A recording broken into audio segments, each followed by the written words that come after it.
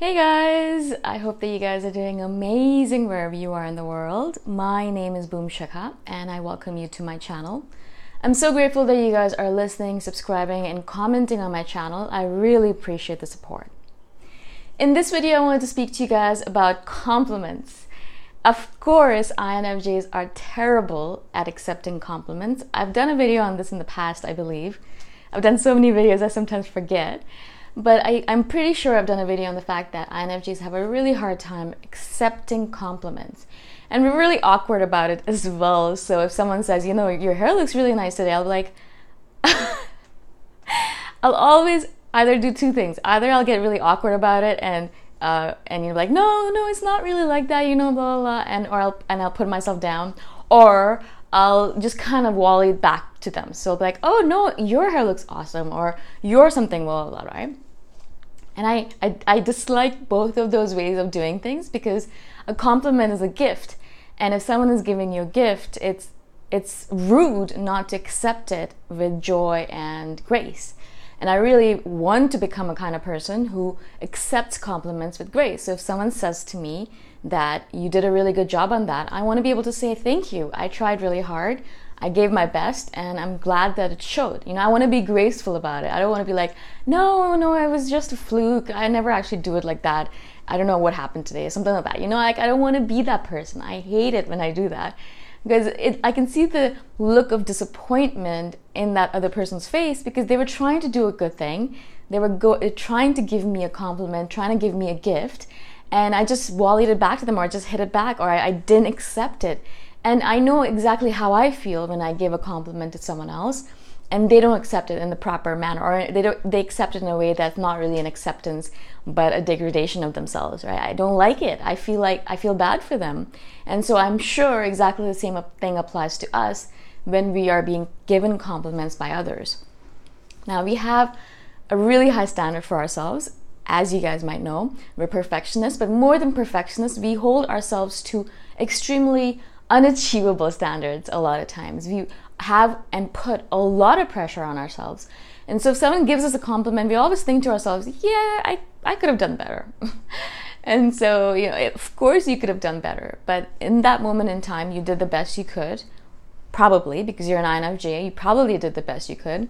And that's all you can really do in the moment. So that's what I really want us to do as INFJs is to accept compliments with grace and joy and gratitude and to be able to say yes thank you so much. I i worked really hard and i'm glad it showed or thank you. I don't know i love my hair so i'm glad that it looks nice today or i love my hair. That's it. You know i always whenever people nowadays say to me um, your hair looks nice even if i don't think that it looks nice or even if i think it's behaving a little bit oddly i'm like thank you. That's really nice. I like hearing that. I love my hair.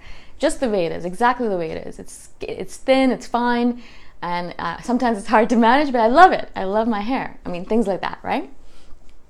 Um, and so, what I really wanted to do in this video is expand a little bit on that concept of compliments and how we have a tendency of trying as much as possible to give tailored compliments to others.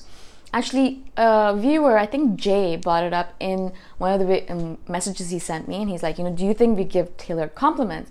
And I thought that was really poignant because I, I really do believe that we give tailored compliments as much as possible. Right? I'll give you a quick example. A few days ago, I was at a workshop uh, for crystal bowl healing. So it was a lot of crystal bowls all around us, and you know the the workshop um, person. How do you say that? The person who was running the workshop actually was going around and, and beautiful sounds were emanating from all these beautiful crystal bowls. It was it was such a great experience. I loved it. And after the after the experience, I was standing with uh, an older lady. I think she's in her late 50s, early 60s. I mean, she's beautiful, absolutely gorgeous, but a little bit older for sure. You know, she has white hair, um, gray hair, white gray hair, and, and she's so tiny. She's like a little doll um, and so I was like, you know what, you look great. You look refreshed. Your skin looks beautiful. And you look really energetic. I, am so glad to see you. I hadn't seen her in three years or something. The last time I saw her was at an improv workshop a long time ago. And so I'm like, Mia, you look great. La la la la, right? And so, as much as I tried in that moment of time, I wanted to give her a tailored compliment. I just didn't want to say, Oh, you look awesome. I want to make sure that I give her a compliment that is geared or adjusted to her specifically, right? And so she did. Her skin looked amazing. I mean, for the, the fact that she is at the age that she is at, oh my God.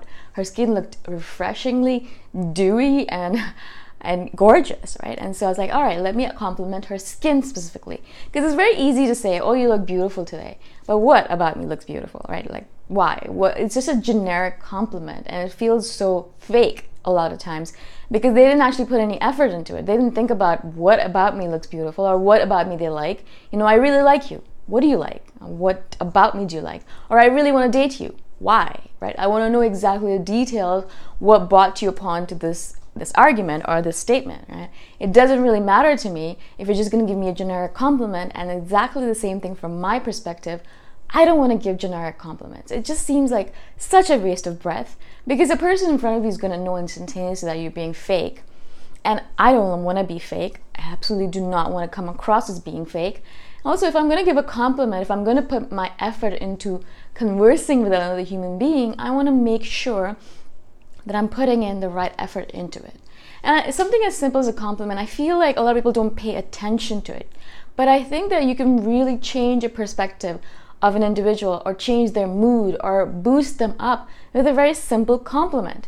And so for this person, Mia, I gave her the compliment and instantaneously she brightened up. I mean, instantaneously she brightened up and she said, Really? I thought I looked really crappy today. I feel really terrible. I feel low, low energy and I thought I was looking like ugly and things like that. I was like, no, no way. I don't know what you're looking at, which mirror you're looking at, but from my perspective, you look great. Your skin is glowing and you look refreshed. And so don't even worry about it. You look awesome. And a couple of people were around us and they heard me talking about it and they're like, yeah, Mia, you look great. You, I don't know what you're talking about.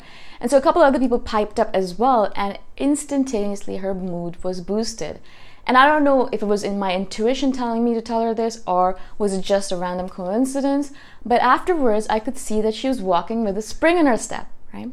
Now, that's what I want to do. If I'm going to give a compliment, I'm not just going to give it willy nilly, right? I'm obviously not going to just be like spreading compliments around like their grass or weeds, right? I want to give them with a little bit of purpose in mind and a little bit of forethought. I want to be able to say that I actually thought about it and then I gave you a compliment. I didn't just think, oh yeah, I'm just going to give a random compliment today and not even think about it. I know it seems like a really random thing to, to think about and to focus on, but for us, compliments are gold. Now, when we receive compliments, we're terrible at accepting them. So we want to ensure that when we give compliments, we're better at it, right? now, as I said, I'm trying very hard to ensure that I become more graceful when accepting compliments. But in general, as much as possible, as I said, I tailor my compliments when I give it to other people. And I really try to ensure that I'm talking about something that is geared towards them. For example, a few weeks ago, there was this lady who was wearing this beautiful lemon yellow dress. And I had never seen such a color before. And she was obviously very bold for wearing such a dress um, because everyone around you know, just wears black or gray or white, you know, just typical colors. But she was kind of standing out. And I went up to her and I said, You know, I love your dress. I think you're so bold and so brave and adventurous to wear such a beautiful color. It really suits you. Your skin just it just looks perfect with your skin uh, your skin tone, and I'm so glad that you're wearing it. Uh, it makes me happy to see that bright, sunshiny yellow, right? And so that's the kind of compliment I want to give. I don't want to just go go up to random people like, "Oh, your dress looks nice." No, you want I want to put a little bit more effort into it. I want to think about it a little bit. I want to gear it a little bit more. I have communication skills. You know, we're great writers and we're great. We we're good at talking as soon as we put a little effort into it. And so, if I'm going to give a compliment, as I said, I want to put a little bit of effort into it. I just don't want to do it haphazardly or half assed. I don't want to do anything half assed, really. But specifically with this, because you are giving a gift to another individual, you're actually handing a gift to them, you know, using your sound or your voice, you're actually giving a gift to them. And you want to make sure that you just don't throw random plastic crap at them, right? Like, you don't want to just give fake stuff you want to give something that's tailored and a little bit has a little bit of meaning to it because that is going to change their perspective, right? As I said before, I've said this many times before, people respect our decisions and our conversations a lot, a, a lot more than other people. For some reason, they have they respect us in general. And so if we say something, they will take it at face value. They won't doubt us or they won't, you know, think that we're lying because we try as much as possible not to lie and we're pretty trustworthy. So if you're going to give a compliment and you put a little bit of effort into it, that person will believe and know that you're telling the truth, that it actually is what you believe, and that's actually something that you really do think about them. And that is going to have a really big boosting and positive effect on that individual. And that's that's just great. Can you imagine like just giving these kind of little boosts to people around you, making them feel good about themselves, boosting them up, boosting their self-esteem, and then having them go out and do amazing things to other people as well? You know, they get a boost and then they boost someone else and like like a ripple effect, the whole universe is more positive because of it, right? And that just excites me a lot, as you guys can tell. Again, if you guys have any questions about this video topic or any of the topics that I've done, please let me know. If you're to comment below, please hashtag it like advice or question. If you want me to reply to your comment specifically like with a with a proper answer. Otherwise i usually just leave generic comments like thank you for watching or thanks for listening and all that stuff. Because i read all comments but i don't necessarily have time to reply to all comments okay again thank you so much for watching and i shall see you guys in the next video. Bye for now